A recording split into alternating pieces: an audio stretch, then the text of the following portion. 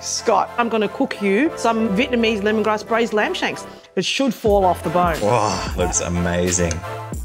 That is delicious. I can't believe that something this great was put together in such a short time. Oh, so tasty.